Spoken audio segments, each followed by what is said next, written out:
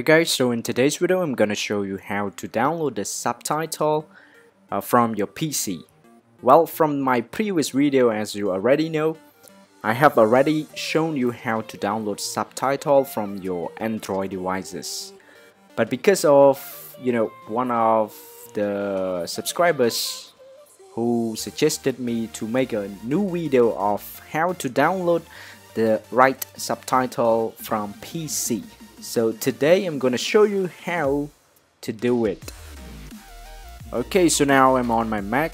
For your information, you can do this trick on both PC or Mac.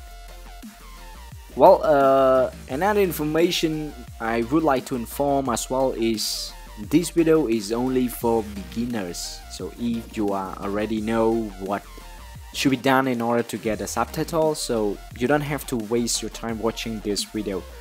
Okay, so in this video I would like to show you one example with the this movie, the Despicable Me 3. As you can see I play the video through a QuickTime player and as you can see no subtitle is shown.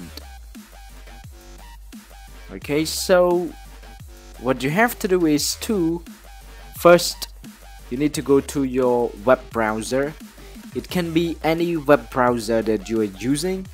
And later you click on the file name of your movie. Just select the I mean the name of that movie. From the beginning up to like 80p 80p or if you see Blu-ray just yeah select all of them. Just copy.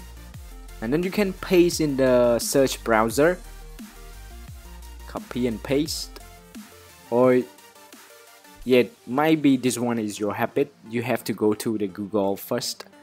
But that's okay as long as you copy and paste. And after you paste you need to write in sub.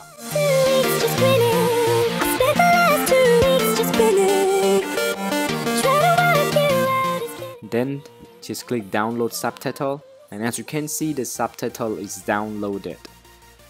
And then just drag the subtitle into the movie folder.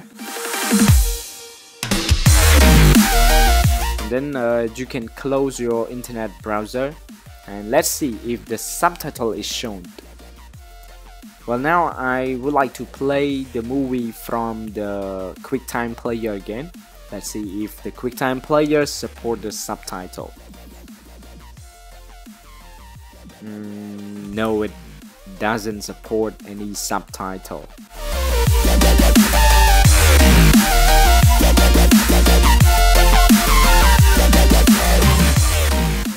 So the video player that I recommend you to use is the VLC, which is the free uh, software that you can find from the website.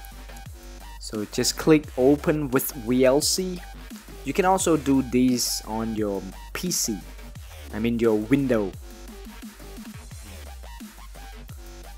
Just launch with the uh, VLC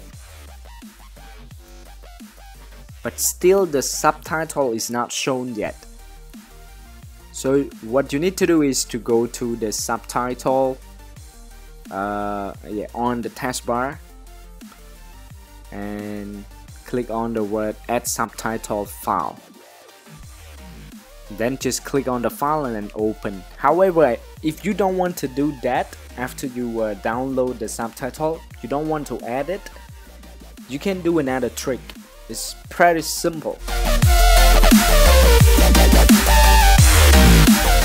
What you need to do is to copy the name of your movie and then paste onto the subtitle file. Okay then let's see if it works. Well as you can see now the subtitle is shown without going to the bar and like you don't have to add the subtitle again as you can see.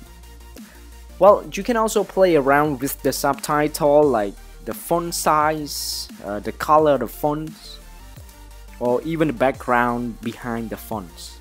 So it's your preference which color that you prefer okay so that's it guys Thank you very much for watching. If you have any questions, just let me know in the comment down below. Please don't forget to subscribe my channel so that you can get more and more useful videos. Thank you.